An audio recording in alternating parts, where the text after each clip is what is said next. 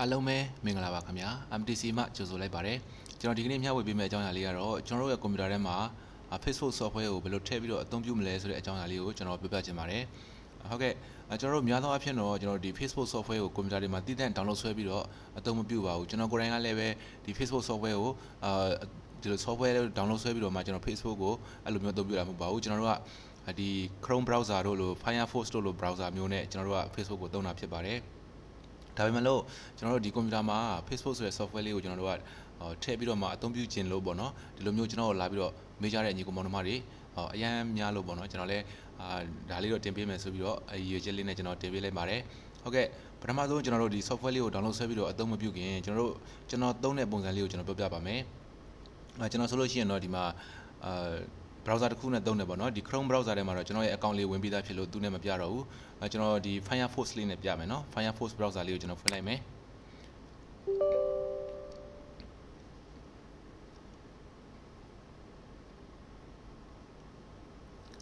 အာဒါ update တောင်းတာပါเนาะ update တောင်းနေကျွန်တော် no လုပ်လိုက်မယ်နောက်ပြီးကျမှ update လုပ်လိုက်တော့မယ်เนาะဟုတ်ကဲ့ကျွန်တော်တို့ဒီမှာဟော Facebook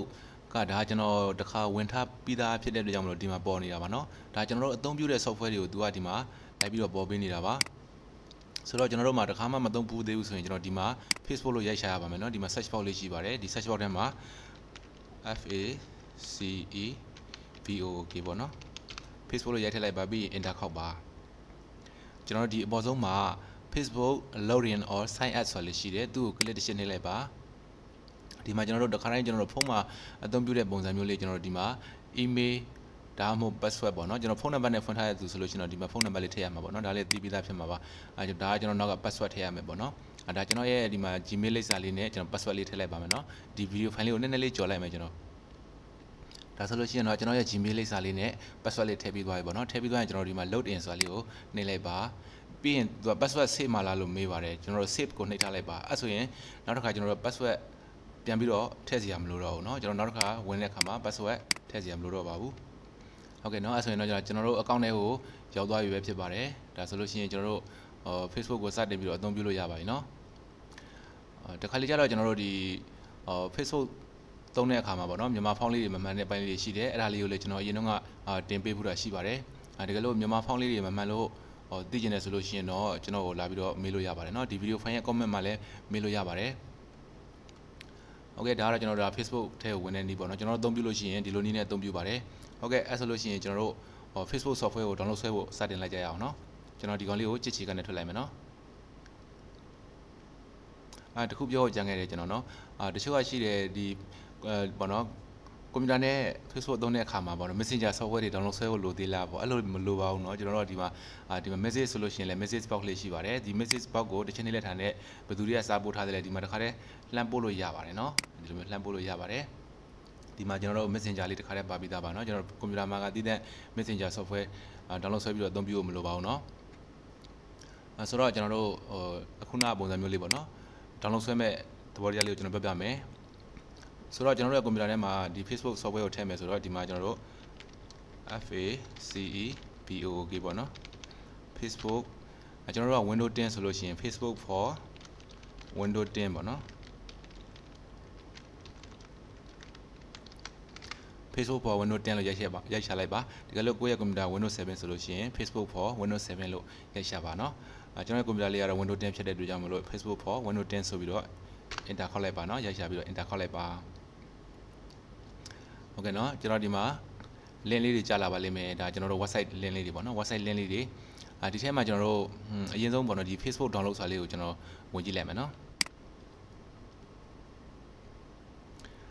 အဲဒီမှာဆိုလို့ရှိရင်ねသူက free တဲ့ download window တဲ့เนาะဒါဆိုလို့ရှိရင်ကျွန်တော်တို့ window အတွက် download ဆွဲဖို့လို့သူကပြောတာပါเนาะဆိုတော့ကျွန်တော်ဒီကောင်လေးကို download ဆွဲလေးကိုတစ်ချက်နှိပ်လိုက်မယ်เนาะအဲဒီလိုမျိုးကျွန်တော်တို့ကြောင်းညာတွေဘာတွေဝင်လာလို့ရှိရင်ကျွန်တော်တို့ ကြည့်ချေကနေထွက်ပေးပါတချို့ကဒီသဘောတရားလေးတွေကိုသိနားမလဲပေါ့နော်အာဒါကျွန်တော်တို့ဒီ software တွေထည့်ခိုင်းတာပါ binary set skin တွေပါတွေပေါ့နော်သူကကြော်ညာတွေထည့်ခိုင်းတာပါကျွန်တော်လုံးဝမထည့်နဲ့ကျွန်တော်တို့ကွန်ပျူတာမှာဒီ software တွေမလိုအပ်ပါဘူးနော်ဒါပေမဲ့တချို့နေရာလေးတွေကြတော့ကျွန်တော် download ဆွဲမှဟိုဒီ software ကို download ဆွဲခွင့်ပေးတာလည်းရှိပါတယ်နော်အဲ့လိုမျိုးလည်းရှိပါတယ်ကျွန်တော်ဒီမှာ download စာလေးကိုတစ်ချက်ပြန်နှိပ်ပါဒီမှာ download ဆွဲပါလိမ့်မယ် အဲသူကဒီလိုမျိုးလေးမေးတယ်ပေါ့နော်ဒါကျွန်တော်ဒီ save file ကိုရွေးပြီးတော့မှ okay ပေးလိုက်ပါဒါဆိုရင်ကျွန်တော်တို့ download ဆွဲပါလိမ့်မယ်နော် no thanks okay နော်ဒီမှာ download ဆွဲတာလေးဒီပုံမှာပြတယ်အဲဒီလိုမျိုးလေးတွေပေါ့နော်ဒီ box တွေပေါ်လာလို့ရှိရင်လုံးဝမဆွဲမိစေနဲ့ဒါဆိုလို့ရှိရင်ကျွန်တော်တို့ဒီ software တွေကြော်ညာတာသူတို့ကလေအဲသူတို့ software ကို download ဆွဲမလား install လုပ်မလားဒါမျိုးလေးတွေဒီပေါ်မှာကြည့်ရင်သိတယ်နော်ဒါကျွန်တော်တို့ဆွဲတဲ့ Facebook software မဟုတ်ဘူးเนาะဒီကောင်လေးကြည့်ချီကနေထွက်လိုက်ဘာမှမဖြစ်ဘူးเนาะကျွန်တော် download ဆွဲလိုက်တဲ့ Facebook software လေးကဒီပေါ်မှာဒါကကျွန်တော်တို့ အော် Firefox browser ကြောင့်ဒီပေါ်နားမှာပေါ်တာပါเนาะโอเคကျွန်တော်တို့ဒီ Chrome browser လို့ဆိုလို့ရှိရင်တော့ဒီအောက်နားလေးမှာ download ဆွဲတာဒီ Velvet down အောက်နားလေးမှာပေါ်ပေးရပေါ့เนาะအခုကကျွန်တော်ဒီမှာဒီထိပ်မှာပေါ်ပေးတယ်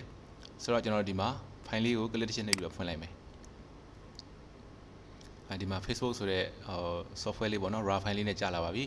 အဲ raw file လေးကိုကျွန်တော်တို့ဖြည့်မယ်ပုံမှန်တိုင်းလေးပဲဒီ raw file လေးနဲ့ဆိုသူ့ပေါ်မှာ right click နှိပ် extract here ဆိုတာလေးနဲ့ဖြည့်လိုက်เนาะ extract here ဆိုတာလေးနဲ့ click တစ်ချက်နှိပ်လိုက်ပါเนาะ ဒါသူကရှိပြီးသားရှိတယ်တဲ့ဒီထဲမှာတော့ကျွန်တော်ရဲ့ကွန်ပျူတာထဲမှာရှိပြီးသားဖြစ်ပါတယ်တဲ့ဒါပေမဲ့ကိစ္စမရှိဘူးเนาะ yes to all ဆိုတာလေးကိုနှိပ်ပေးလိုက်ပါအဲလိုက်ရှာကြည့်လိုက်မယ်เนาะ Facebook ဆိုတဲ့ software လေးရှိပြီးသားဖြစ်ပါတယ်တဲ့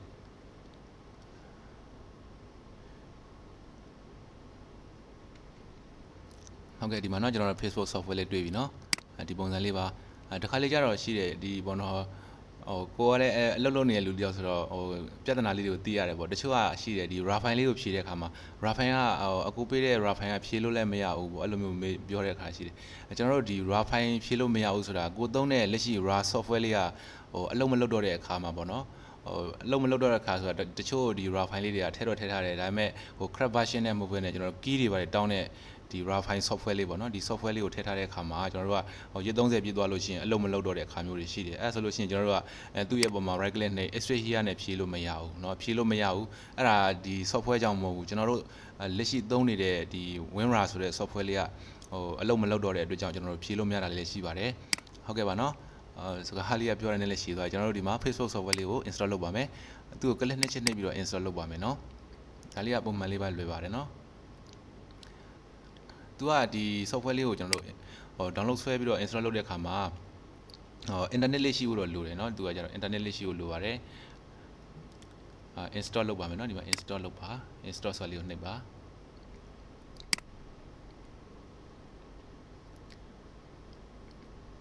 ဗီဒီယိုဖိုင်လေးအရန်ရှည်သွားမှာဆိုလဲအတွက်ကြောင့်ကျွန်တော်ဒီကောင်းလေးနည်းနည်းလေးကြော်လိုက်မယ်နော်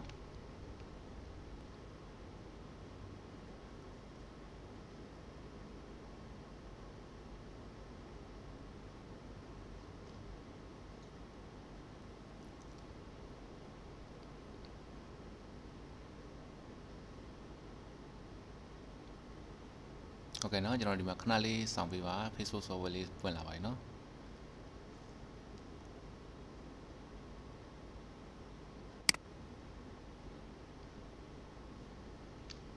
ဟုတ်ကဲ့ပါအဲ့ဆိုလို့ရှိရင်ကျွန်တော်ဒီမှာ Facebook software လေး install လုပ်ပြီးတော့ပါပြီเนาะမခက်ပါဘူးเนาะကျွန်တော်တို့အရင်လွယ်ပါတယ်အဓိကတော့ကျွန်တော်ဒီ download ဆွဲတဲ့အပိုင်းလေးတစ်ချက်ပါပဲเนาะဒီမှာကျွန်တော်တို့ ပုံမှန်တိုင်းခုနကကျွန်တော်တို့ email နဲ့အာ password လေးထည့်လိုက်ရင်ရပါပြီเนาะဒီခါတိုင်းကျွန်တော်တို့ဖုန်းမှာထည့်တဲ့ပုံစံမျိုးလေးပေါ့เนาะကျွန်တော်တို့ Gmail နဲ့ password ထည့်ပြီးတော့အသုံးပြုလို့ရှိရင်ဒီမှာရပါပြီเนาะ load in ဆိုတာလေးကိုနှိပ်ပြီးတော့ကျွန်တော်တို့ Facebook ကိုအလွယ်တကူအသုံးပြုလို့ရမှာပဲဖြစ်ပါတယ်เนาะဟုတ်ကဲ့ဒီသင်ခန်းစာလေးကိုနားလည်လိမ့်မယ်လို့လည်းထင်ပါတယ်เนาะတကယ်လို့အဆင်မပြေတဲ့ဘိုင်းလေးရှိလို့ရှိရင်လည်းကျွန်တော်ဒီဗီဒီယိုဖိုင်ရဲ့ comments box မှာမေးပေးပါเนาะဟုတ်ကဲ့ကျွန်တော်အတတ်နိုင်ဆုံးအားလုံးကိုကျွန်တော်ဖြည့်ပေးပါမယ်เนาะအားလုံးပဲအဆင်ပြေကြပါစေခင်ဗျာမင်္ဂလာရှိသောနေ့ရက်လေးဖြစ်ပါစေ